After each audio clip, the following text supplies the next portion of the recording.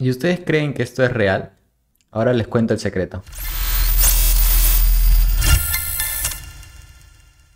Estoy seguro que muchos de nosotros hemos visto estos mensajes en las redes, ya sea en Twitter, en Facebook, sobre el tema de la multiplicación de los salarios o de los sueldos. Hemos visto, he aumentado mi sueldo por 2x o por 3x cuando me inscribí en esta plataforma o gracias a esta plataforma educativa. Como que todos los créditos le dan a la plataforma educativa por el hecho de que multiplican su sueldo. O dan a entender que gracias a una plataforma educativa pueden multiplicar su sueldo automáticamente, lo cual eso no es cierto. Lo que están haciendo ellos es simplemente marketing, aprovechando que algunos de sus estudiantes logran multiplicar su sueldo. Eso les sirve al momento de publicarlo para poder atraer nuevos estudiantes. Pero entonces, entrando a una plataforma educativa, ¿puedo aumentar mi sueldo automáticamente? No necesariamente. El entrar a una plataforma educativa o a la universidad no te asegura que tu sueldo sea multiplicar, triplicar, cuadriplicar, etc. Pónganse a pensar esto. Una plataforma educativa ¿Cuántos estudiantes tiene? Tiene cientos de miles de estudiantes, de los cuales solamente una cantidad muy pequeña es la que hace ese tipo de publicaciones en la cual duplica o triplica su sueldo, ¿cierto? Entonces podemos decir que inscribiéndote a una plataforma educativa no va a hacer que multipliques tu sueldo automáticamente. Lo que sí hay que mencionar es que el tema de la multiplicación de sueldos sí es posible y mucho más ahora en, esta época de que hemos pasado o seguimos en pandemia hay muchas más ofertas de trabajo remoto, hay ofertas de clientes extranjeros y ahí es posible que multipliquemos nuestro sueldo. Pero esto, como les dije, no depende de algo en específico más que de nuestro esfuerzo y las ganas que le pongamos para estudiar, practicar, las ganas de seguir aprendiendo, porque si no tienes esas ganas, y no te decides realmente a, a querer ganar más, ¿por qué no decirlo? Entonces no lo vas a lograr, ¿cierto? Ya sea autocapacitándote, puedes estudiar en, puedes ver videos de YouTube, puedes leer libros si te gusta o ver la documentación. También puedes tomar cursos, ¿por qué no? No está mal entrar a una plataforma educativa. Ojo, no entiendan eso. Si tienen la posibilidad de, estudiar, de ir a la universidad, vayan a la universidad. Si tienen la posibilidad de entrar a una plataforma eh, educativa, métanse y practiquen. Saquen provecho de eso. No pierdan la oportunidad. Tampoco se desesperen porque esto puede generar falsas expectativas al ver ese tipo de publicaciones de acabo de inscribirme a esta plataforma y, ya multipliqué o tripliqué mi sueldo en dos meses, tres meses. Esto probablemente ha sido, ha tenido mucha suerte o ya ha tenido experiencia anteriormente y simplemente ha complementado algunos temas o le salió justamente en ese tiempo la oferta. Pero algunas personas piensan que estudiando dos meses ya van a poder tener un salario un poco más elevado de lo normal. Pero también esto de la multiplicación de los sueldos depende de algo y es del sueldo. No es lo mismo multiplicar por 2 o por 3 si tu sueldo ha sido de 300 dólares. Entonces, si duplicas son 600, lo cual no es mucho. Eh, pero imagínense que alguien está ganando ya 5 mil o 6 mil dólares. Ahí no vamos a hablar de duplicar o triplicar porque es más complejo. Se puede, pero es más complejo y requiere mucho más experiencia. ¿Y qué tan sencillo es duplicar el sueldo? Bueno, eh, si quieres duplicar tu sueldo, postula un trabajo y pide el doble de lo que ganas.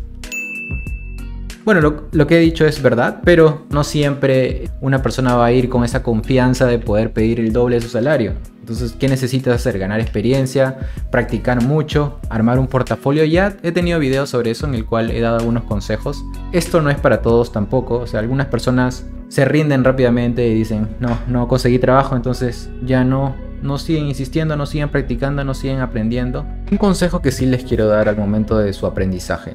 Veo que muchas personas toman cursos y que algunas publican, he terminado 30 cursos en un mes, y lo cual me parece demasiado exagerado. Está bien que lleven cursos de distintas tecnologías, traten de aprender algo, pero no se trata de sacar certificados por sacar. Eh, puedes sacar certificados de 100 cursos en un mes, pero ¿qué te va a quedar? No te queda nada si no practicas. Así que no lo vean eso como mientras más cursos tengas, más vas a saber o más posibilidades de entrar a un trabajo, lo cual es totalmente incorrecto, al contrario, creo que juega en contra. Eh, cuando entrevistamos a algunas personas y nos dicen que conocen todos los lenguajes de programación y al final le hacemos una pregunta simple en el lenguaje que en teoría más saben y fallan. Entonces no se trata de eso. Eh, al momento de entrevistar no pedimos certificado, nos interesa más sus skills o qué ha venido haciendo, armar un buen portafolio para ver qué tanto sabe o hacerle una prueba en vivo también codificando en lugar de mostrarnos como 20 certificados de, cientos de cursos. Y es una mala manía que he visto bastante en Latinoamérica dependen demasiado de los cursos. Quizás es porque no han mejorado sus skills de autoaprendizaje o de investigación. Es algo que, que, enseñan bastante en la universidad. Yo vengo de universidad, no he llevado cursos.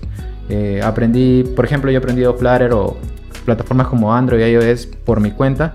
Eh, no he necesitado cursos.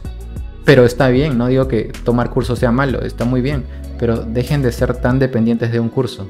He visto que a veces hasta piden a profesores, profesor, saca el curso de, la, de este tema, de la siguiente versión de esto, pero si ya sabes la primera parte, ¿por qué no sigues investigando y, ya? No entiendo. Es ¿Cómo van a hacer cuando estén en un trabajo y se les presente un problema de algo que no han visto en un curso? Le van a escribir al profesor, profesor, ¿puede sacar la siguiente versión porque ya no sé qué hacer.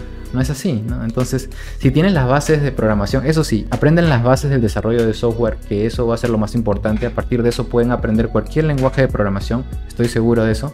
Y no les va a costar tanto trabajo en lugar de aprender cursos para una tecnología específica y quedarse ahí. Y coleccionar cursos, coleccionar cursos y... No, pónganse en acción. También hice una encuesta en el grupo en el que estoy de Facebook de Flutter en español y les pregunté cuál es el salario promedio para un programador en una empresa local de su país. Y la mayoría votó que era entre mil a dos mil dólares un salario promedio para el programador. Eh, otros votaron también que, bueno, de 500 a 1000 dólares. Pocos votaron por 2000 a 3000 dólares, lo cual sí me parece un sueldo alto localmente para un programador. Y hay gente que gana menos de 500 dólares, increíble también como programador. Me imagino que como junior. Mayormente los que pagan más localmente son las fábricas de software. Hay muchas fábricas de software en cada país, las cuales tienen clientes extranjeros, entonces por eso que pueden pagar mucho más. Pero tienen un límite de pago también. De mi experiencia puedo decir, por ejemplo, aquí en Perú, eh, creo que lo más que te pueden pagar trabajando aquí en Perú eh, para una fábrica de estas es 3.000 a 3.500 dólares Tal vez podrían llegar hasta 4000, aunque es bien complicado. Tienes que, ser, tienes que tener mucho nivel para llegar a, ese salario aquí en, Perú. Me imagino que igual debe ser o similar en Latinoamérica y en otros países. Pero bueno, lo que hacen la fábrica de software es simplemente tú cobras eso, pero ellos le cobran el doble al cliente o el triple. Entonces, esa es su ganancia y está bien porque es un modelo de negocio. Y también nos sirve a nosotros. No digo que sea mala ni que no vayan a fábricas de software porque es bastante plata igual y ganamos mucha experiencia. Así que si tienen la oportunidad de postular ahí y trabajar, aprovechenlo. Yo he trabajado en varias fábricas de software y he aprendido un montón. Se aprende muchísimo. Así que está bien, un gran paso para antes de, trabajar solos es pasar por una fábrica de software. Aprendes mucho de personas que saben también más que tú. También hay otras empresas que pagan muy mal, eh, como algunos mencionan ahí que ganan o que el salario promedio es entre 500 a 1000 dólares.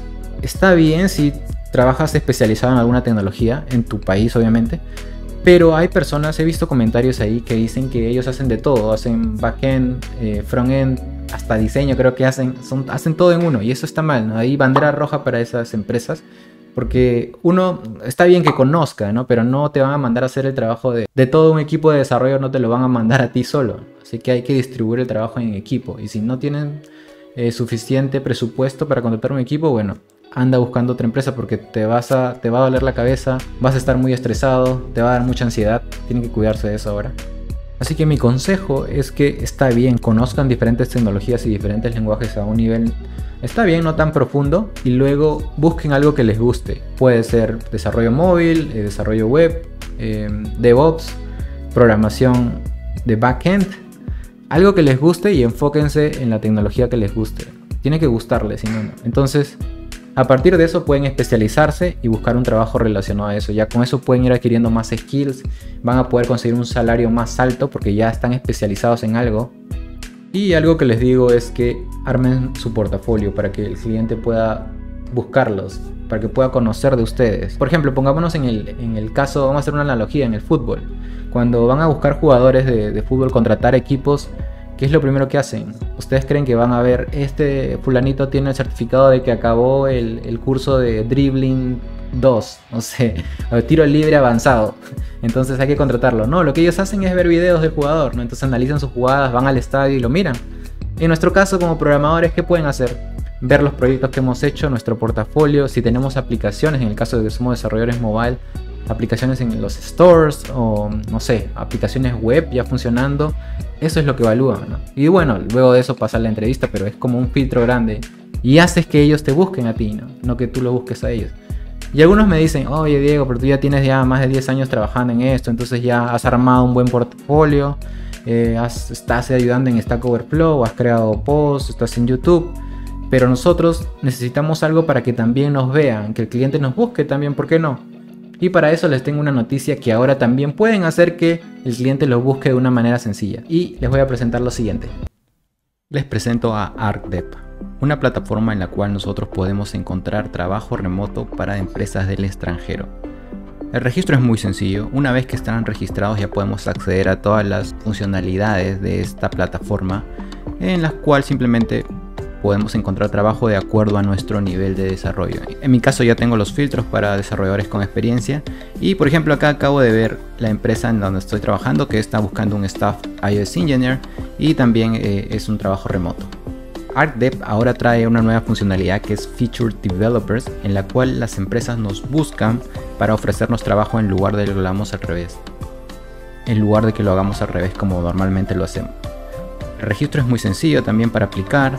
Eh, el primer paso es aplicar, ser un feature developer, en la cual pasamos una entrevista pequeña de 30 minutos con el equipo, eh, una entrevista técnica de una hora. El soporte que ellos nos brindan es genial. Nos ayudan con las hojas de visa, con las prácticas de entrevistas, con las negociaciones, etc. Y las compañías aplican a nosotros, obviamente. Y para aplicar simplemente presionamos Apply to Join. Y en mi caso yo ya apliqué, eh, tengo que ser verificado, pero aquí están los pasos que voy a seguir una vez que reciba la confirmación de ellos. Aquí también podemos observar algunas de las empresas que han contratado gente de ArcDev, Spotify, Splice, Hims y otras más. También como los testimonios de desarrolladores que han usado ArcDev.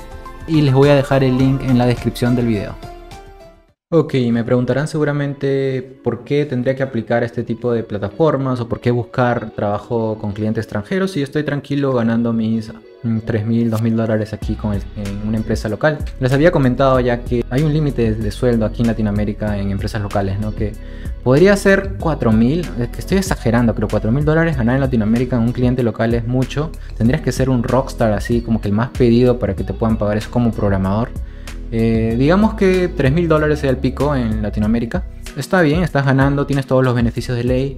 Pero si estás aburrido, quieres seguir creciendo un poco más, eh, trabajar con gente del extranjero directamente e incrementar su salario, ¿por qué no duplicar o triplicar así como, como dice el video? Es posible hacerlo remotamente con clientes extranjeros y si quieren hablar de salarios estamos hablando a partir de 5 mil dólares los salarios que ellos pueden pagar 5, 6, 7, 8, 10, 12, 15 mensual. Pero obviamente esto es como que no es para todos. necesitas hablar inglés fijo, requiere mucho esfuerzo, tienes que hacerte notar para que ellos puedan saber de ti y que en verdad necesitan de tu trabajo para su empresa, pero es posible. Y tienen que también tener en cuenta el tipo de contrato que tienen. Es la modalidad contractor la que usan ellos. Eh, algunos que te pagan por hora, es decir, las horas que trabajas son las que te pagan. Si tú quieres pedir vacaciones, obviamente no te van a pagar esos días. Pero también puedes negociar eso. Hay algunas empresas que sí te dan 7 días, 10 días para que tú puedas disfrutar. Hay algunos incluso que te dan vacaciones ilimitadas, pero eso ya tienes que negociarlo con, el cliente. Hay algunos que te pueden pagar un sueldo fijo mensual también. Es decir, puedes trabajar las horas que quieras por día e igual te van a pagar mensual. Eh, y son más flexibles, ¿no? Que te pueden dar otros beneficios. Y eso de acuerdo a cómo, qué tan buen negociante eres. Entonces, podemos concluir que entrando a una plataforma de aprendizaje no va a hacer que multipliques tu sueldo por arte de magia, y tampoco entrando a la universidad va a hacer eso. Requiere de esfuerzo, dedicación, y ¿saben qué es lo más importante? Las habilidades blandas. Puedes ser un muy buen programador, pero no sabes comunicarte. Entonces no vas a saber negociar tampoco, ¿no? Entonces eso es muy importante a la hora de conseguir aumentos de salario. Entonces tienes que tener habilidades blandas, ser un buen negociante y armar contactos. Lo bueno en la universidad es que hay mucha gente, interactúas con muchas personas, con profesores, con mucha experiencia, entonces puedes armar una red de contactos rápidamente. También lo puedes hacer seguramente en una plataforma de aprendizaje. Eh, y la idea es eso, que armes una red de contactos. Si te gustan grupos específicos de tecnología, métete a un grupo. Ahí puedes averiguar también en cuánto están los salarios, aproximadamente cuánto están pagando en remoto para clientes extranjeros y te das una idea para que no vayas después como que pidiendo mucho menos de lo que ellos podrían pagar, ¿no? Así que eh, les voy a dejar aquí un video con unos tips que hice de una forma de conseguir trabajo también. Unos tips que doy, los que me sirvieron a mí para poder conseguir trabajo remoto con el extranjero. Así que si les interesa pueden ir a ese video espero que estos tips les hayan servido, gente. Eh, cualquier cosa, cualquier duda que tengan, déjenla en los comentarios. Voy a estar leyendo sus comentarios y voy a estar respondiendo todo lo que pueda. Así que no se olviden dejar su like y nos vemos en el siguiente video.